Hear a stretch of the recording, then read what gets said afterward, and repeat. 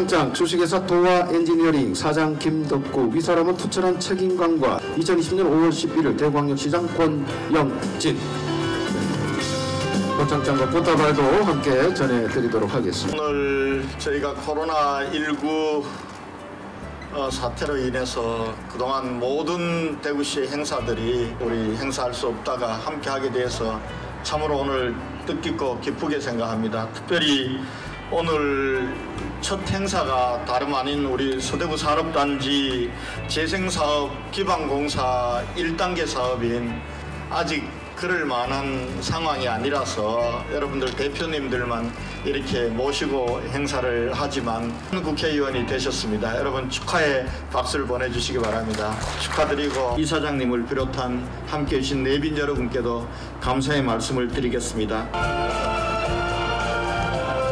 외교진 덕분에 시민들 덕분에 힘내라 대구 파이팅!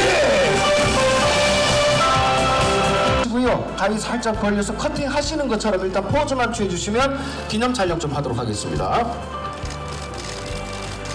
그러면 제가 하나 둘 셋 하면 거기에 맞춰서 테이프 커팅을 하나 둘 셋!